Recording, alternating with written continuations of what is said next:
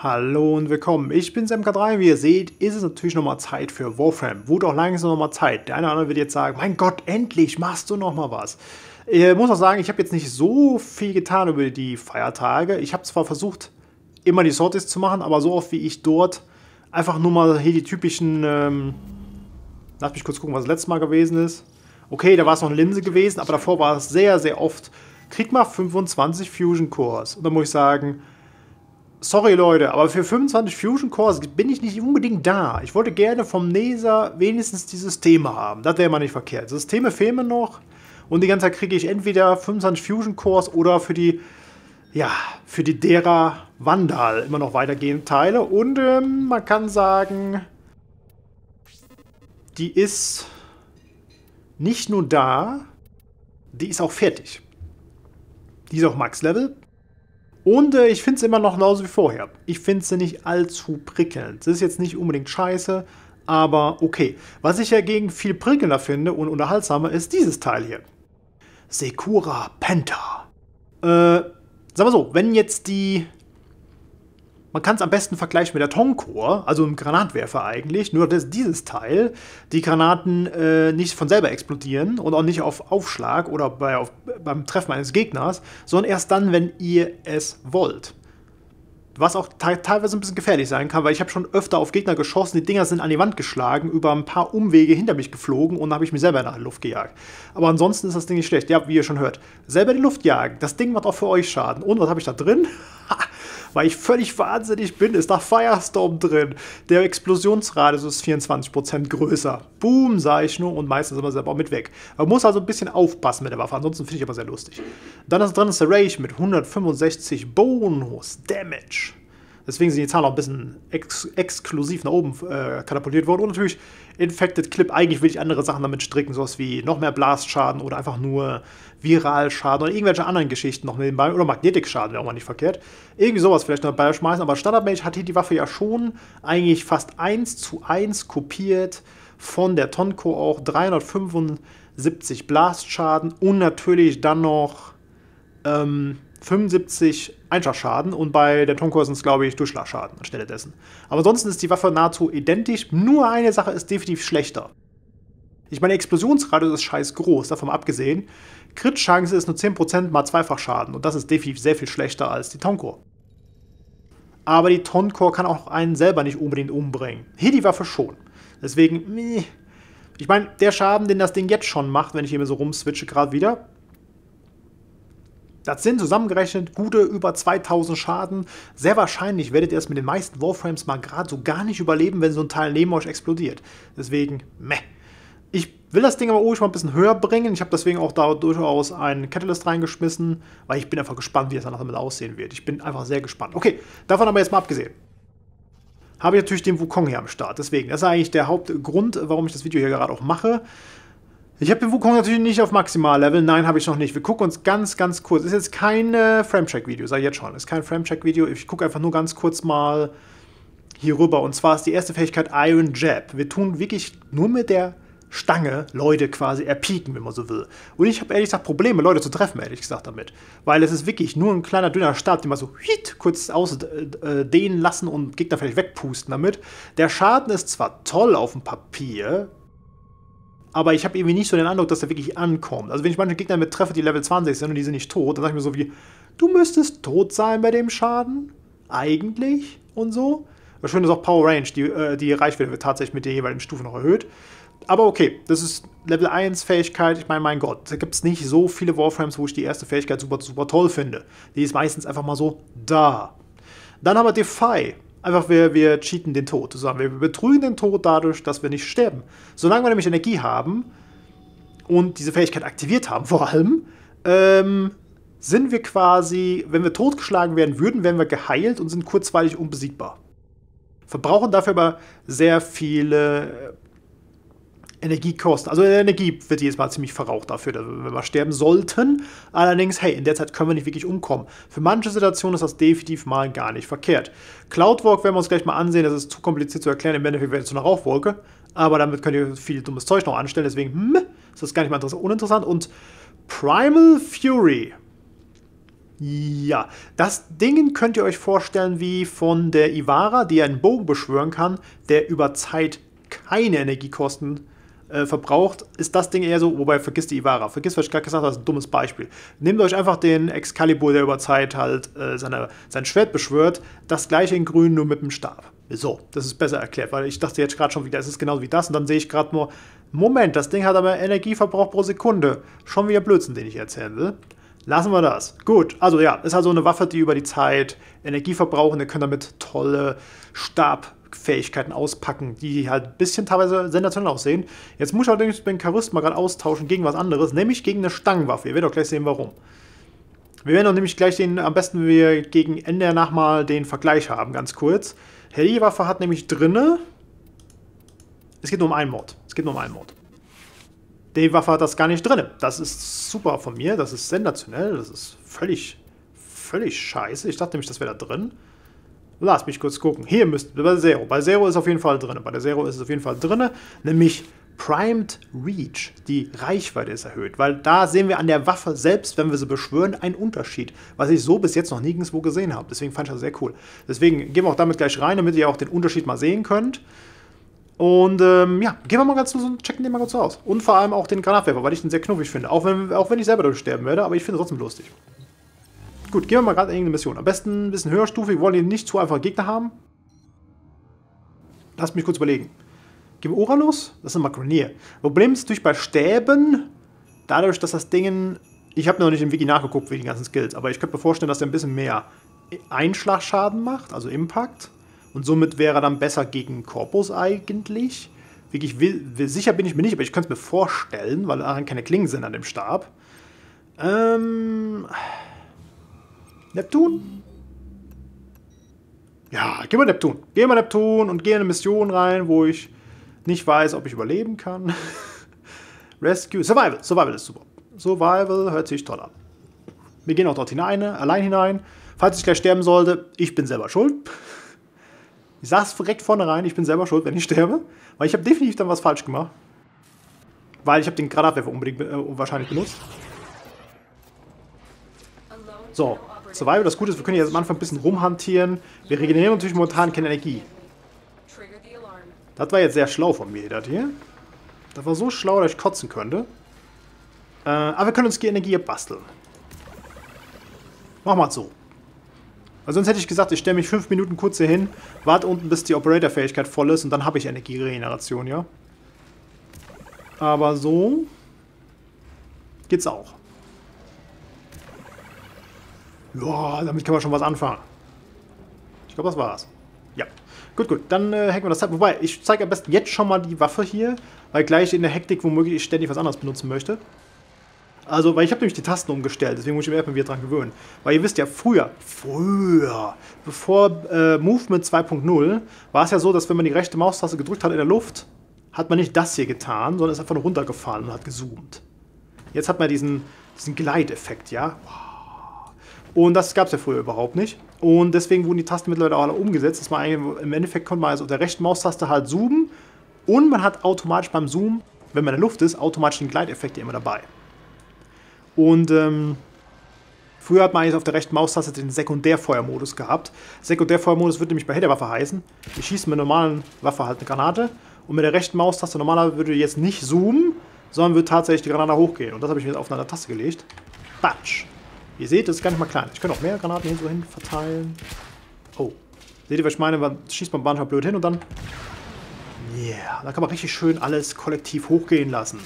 Nicht verkehrt, nicht verkehrt. Da überlege ich mir auch schon, ob dieser Adhesive Blast, dieses, die Idee, dass man mit Granaten an der Wand schießen kann und die hängen bleiben, wäre für das Ding echt super.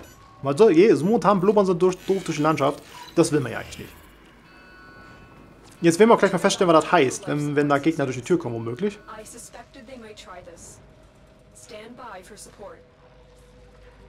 Oder auch nicht? Doch jetzt. Okay, das war jetzt zweit. Man kann auch mitten in der Luft das Ding explodieren lassen, so nach dem Motto. Puh. Und ich habe mich schon ein paar Mal umgebracht, weil ich direkt gedrückt hatte, nachdem ich das Ding abgefeuert hatte. Deswegen gefährlich. Okay, das war's. Vier Schuss noch Magazin.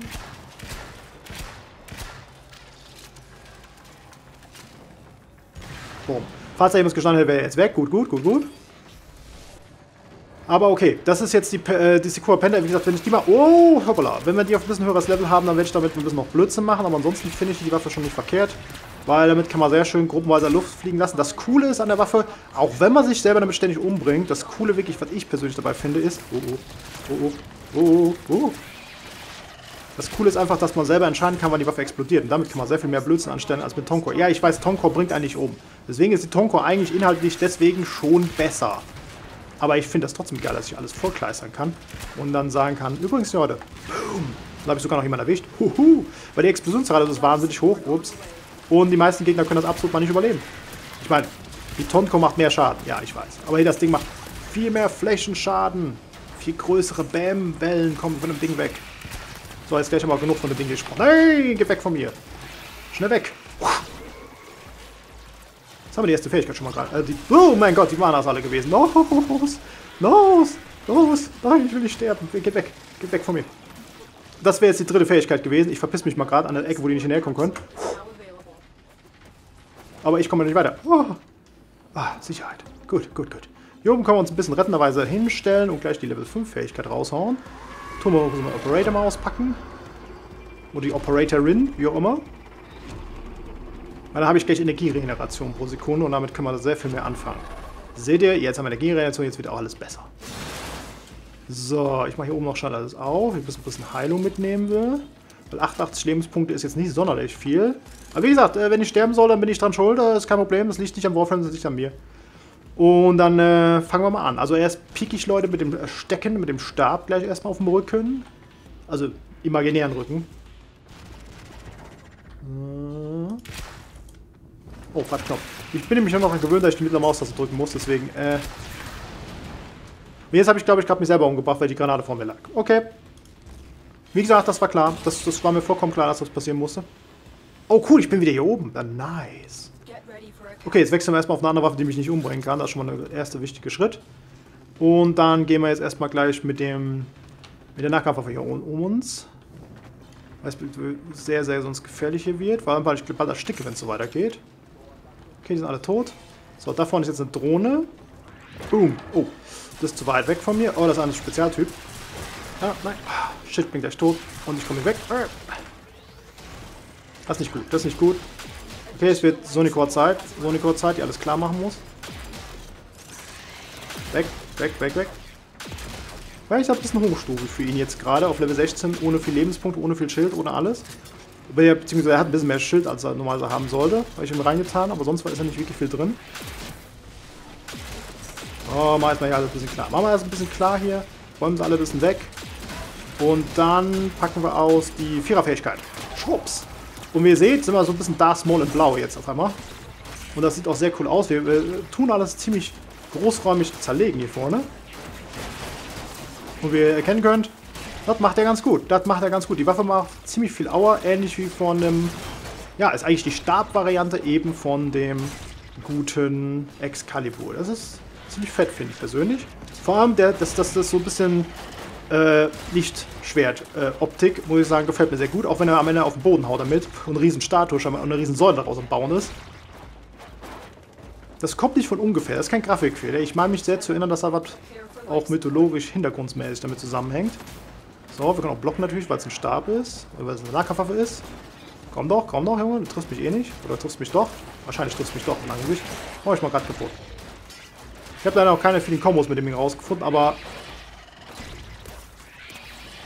Guck, kann ich das? Ist das eine Charge-Waffe? Nein, ist keine Charge-Waffe. Sonst hätte ich gerade etwas anderes machen können. Boden rumrutschen, die typischen Aktionen machen. Puh. Ja, aber das ist schon eine Waffe, die mir persönlich gut gefällt. Auch wenn ihr die ganze Zeit Energie verbraucht, aber auch du, Type, wirst mal ganz gnadenlos von der Waffe zerlegt. Ausgezeichnet. So, jetzt gucken wir uns ganz genau die anderen an. Also die Waffe hat ja schön lange blaue Teile, wie ihr sehen könnt. Oben und unten. Danach gucken wir uns diese Waffe an, ohne dass ich den Prime Reach dran habe. Ihr werdet nämlich direkt einen deutlichen optischen Unterschied dabei erkennen. Okay, wir können auch theoretisch langsam rausgehen. Das ist perfekt in meinen Augen. So, die Energie ist jetzt auch komplett weg von mir. Das heißt, wir müssen wieder Sonico alles zerblasen gehen. Es sei ich schieße wieder nicht durch die Landschaft, weil ich keinen Mund mehr habe gerade. So, jetzt aber. Gut, gut, gut. Sieht doch viel besser aus. Sieht doch alles direkt viel besser aus. Wir benutzen erstmal die eine Fähigkeit, die ich auch gerne zeigen wollte, nämlich die ich eben ansatzweise nur gezeigt habe, bevor ich zerblasen wurde. Nämlich angenommen, es wird jetzt mit zu eng und ich sage jetzt, ah, mh, hm, ich möchte irgendwo hochspringen und komme da nicht so hoch oder so ähnlich. Gut, lass uns hier mal vorne hingehen. Angenommen, ich möchte jetzt, keine Ahnung, hier auf das Ding da und will aber nicht springen.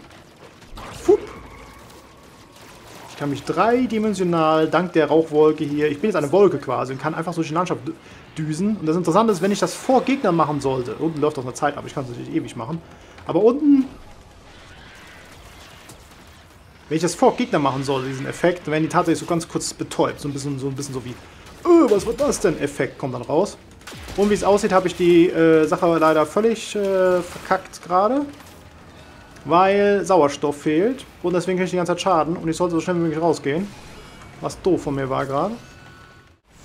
So, natürlich die letzte Fähigkeit ganz kurz. Schmeiße ich sie mal zwischendurch noch hinein hier. Bevor ich wieder in 1000 Brocken zerrissen werde. Und zwar wäre das City hier. Das ist jetzt die zweite Fähigkeit. Jetzt sterben wir nicht mehr. Für ein paar Sekunden. Aber ihr seht, die Energieanzeige geht wahnsinnig schnell nach unten. Und da ich das Ding nicht billiger gemacht habe, ist es durch die Energie schnell weg, dass ich gucken konnte. Aber in der Zeit wäre ich tatsächlich nicht gestorben. Aber auch mehr ist dazu gar nichts zu sagen, weil viel Optik gibt es dabei leider direkten Effekt leider nicht. Leider. Aber was soll's. Sehen wir uns mal ganz kurz noch was anderes an, nämlich... Nämlich... Den Stab selbst wie ich schon eben mal meinte. Weil dort war ja was zu sehen. Dort war ja noch was, eine Kleinigkeit zu erkennen. Wie, eben, wie ich schon eben meinte, der Zero hat ja momentan drinne Primed Reach. Und äh, wir packen uns mal gerade eine Nahkampfwaffe mit, wo kein Primed Reach drin ist. Nämlich, wie ich eben feststellen durfte, in der Autos Prime ist ja sowas nicht drin. Gut. Bei mir jetzt. Ich meine, da kann man welche rein tun, aber ich habe es nicht drin. So, und jetzt gehen wir gerade mal in die gleiche Mission nochmal neu hinein, damit wir auch gleich den, genau, den gleichen, gleichen Effekt nochmal haben, vielleicht gleiche Level auch. Also zumindest eine ähnliche. So, und ich packe auch sofort die Level 4 Fähigkeit aus. Und wie ihr jetzt sehen kann, ich habe einen Kurzstab gekriegt, im wahrsten Sinne des Wortes. Weil es sind keine langen, ja, Jedi-Style-Teile außen herum, ne? Keine langen Lichtschwerter-Anteile da dran. Sondern, äh, nö, ist nichts. Bleibt so, wie es ist. Schade, schade, schade. Ich habe mir sagen lassen aber schon, dass das Ding durchaus länger werden kann, wenn man schon mal Kombos macht oder irgendwo sowas damit. Aber ja, das Ding kann man auf jeden Fall auch von der Länge her durchaus schon sehr gut beeinflussen, indem man eben dort äh, Reichweiten-Mods mit reinpackt für die Waffe. Das ist schon mal nicht unbedingt uninteressant zu wissen. Oh, auch sehr cool hier. Manchmal, was man alles so sieht, wenn man ein bisschen, ein bisschen Augen aufmacht hier in so einer Level, wenn man gar keinen Stress hat, erschossen zu werden. Wunderbar. Okay, das wollte ich aber noch ganz kurz mal gezeigt haben. Und mehr in, inhaltlich kann ich auch noch gar nicht zu dem sagen. Der eine oder andere wird natürlich jetzt sagen, und ist er so scheiße, wie ich gehört habe? Äh,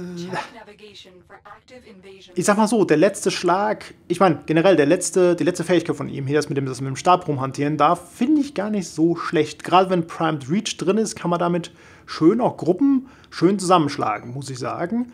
Die Sache mit dem, dass ich nicht sterben kann, finde ich ein bisschen sinnlos. Persönlich für mich jetzt. Weil ich habe gerne sowas wie äh, Quick Thinking da drin. Das heißt, beim Worten, meine Lebenspunkte können nicht reduziert werden, solange ich noch Mana habe, also Energie habe. Und diese Fähigkeit negiert die Sache so komplett sofort, weil ich verbrauche die ganze Zeit Energie, aber würde wiederbelebt, falls ich sterben würde. Beim anderen heißt es einfach, ich sterbe einfach nicht, solange ich Energie habe. Mehr oder weniger ist es nicht das gleiche unbedingt genau, eins zu eins. Ich meine, bei, bei ihm hier würde ich, wenn ich einmal richtig umgeklatscht würde, würde ich sagen, ho, ich stehe immer noch da. Gerade sozusagen, hab, ich habe den Tod betrogen und zack, bin ich wieder da. Beim anderen würde ich natürlich, wenn ich richtig Schaden fresse, sofort meine ganze Energie weg sein und danach würden meine Lebenspunkte weg sein komplett und dann wäre ich auch tot. Aber so tendenziell sind die schon ähnlich, die Sachen. Nicht natürlich nicht von der Mechanik natürlich anders, aber so in die Richtung gehen. Ich äh, verhindere somit auch meinen Tod, weil ich Energie habe. Nur eben hier, weil es eine aktive Power ist, die ständig mit meiner Energie draint. Oder bei einem anderen ist es eher so wie, nö, die komplette Energie, die ich habe, die bleibt stehen, die wird nicht verbraucht, es sei denn, es beschießt mich jemand. Es ist nicht das gleiche, aber so ähnlich. Deswegen finde ich es ein bisschen meh. Die erste, die erste Fähigkeit, dass ich mit dem Stab Leute erpieke, wie gesagt, ich kriege damit kaum Leute getroffen. Die Reichweite von dem Ding ist auch nicht besonders weit. Der Schaden ist zwar schön, aber da sage ich bis jetzt einfach mal dazu. Vielleicht auf hohen Stufen sieht die Sache anders aus. Vielleicht macht das Ding ja alles platt danach. Wer weiß, wer weiß. Und die dritte Fähigkeit, die finde ich eigentlich sehr cool. Die Idee, dass man einfach eine Rauchwolke sich verwandelt rein und einfach dreidimensional im Raum rumfliegen kann. Finde ich cool. Finde ich sehr cool, vor allem, weil man auch unzerstörbar ist in der Zeit. Also es ist nicht so wie Unsichtbarkeit, sondern man kann auch ruhig beschossen werden, weil man ist eine Wolke. Man ist physisch tatsächlich nicht da. Und das finde ich wiederum sehr fett. Allerdings so als, als, Schleich äh, als Schleichvariante ist das weniger cool, weil wie gesagt, sobald man halt das vor Gegnern macht, äh, würde die Rauchwolke die Leute ja so, so kurz schocken. So, oh, was war das denn? Und dann ist halt natürlich die Sache raus mit dem von wegen, oh, jetzt habe ich dich hinterhältig gleich erwischt oder so Geschichten. Oder du hast ja nicht gesehen, dass ich da war, weil es, man hat sich bemerkbar gemacht durch diese Aktion. Aber ansonsten ist es schon, es ist so eine Art Oh shit-Button in meinen Augen, den gar nicht so viele Warframes haben. Die Idee von, whoops, oh, jetzt kann ich mehr getötet werden und ich kann mich frei bewegen im Raum. Das ist, das ist cool. Das ist absolut cool. Und äh, wenn ich erstmal genug Mods da reingeschmissen habe, weil so viele Mods habe ich da noch nicht drin. Ich habe jetzt nur Streamlight, dass es ein bisschen günstiger wird und äh, Prime Flow, dass ich maximal Energiehöhe habe. Und Redirect einfach nur ein bisschen mehr Schild habe. Weil er hat per se ein bisschen gut, ein bisschen besser Schild, oder? Lass mich kurz gucken. Hat er einen besseren Schild als der Rest? Ich glaube, er war gleich, oder? Schild war. Nee, Schild hat er tatsächlich ein bisschen mehr als Lebenspunkte starten. Er ist okay. Deswegen habe ich gesagt, pack mal ein bisschen Redirect rein. Ein bisschen höher Maximalschild. Kann nicht verkehrt sein. Kann nicht verkehrt sein. Aber wie gesagt, das, äh, wenn ich den mal hochgeskillt habe auf 30 und dann ein bisschen Erfahrung gesammelt habe auf höherer stufigen Missionen, kann ich auch besser meinen Senf dazu abgeben. Und ja, für mich bleibt es jetzt erstmal nur weiterhin gehend bestehen, dass ich das Problem habe, dass ich weiter ja, Erfahrung farmen darf für den nächsten Talentbaum, den ich unbedingt zeigen möchte. Deswegen äh, schauen wir mal, was als nächstes kommt. Schauen wir mal, was als nächstes kommt. Erstmal wie immer bis hierhin schon mal danke fürs Vorbeischneiden und Zusehen. Das war es von mir erstmal wieder MK3 und ein kurzer Ausblick auf, äh, auf Wukong und wie der so drauf ist. Ja, aber wie gesagt, das ist eher so wirklich nur so ein, ein First Look beinahe schon, weil ja, mal schauen. Manche Fähigkeiten bin ich noch nicht so ganz überzeugt von. Vielleicht kommt das mit dem Level, vielleicht kommt das mit dem Level, vielleicht. Okay, bis die Tage und ciao.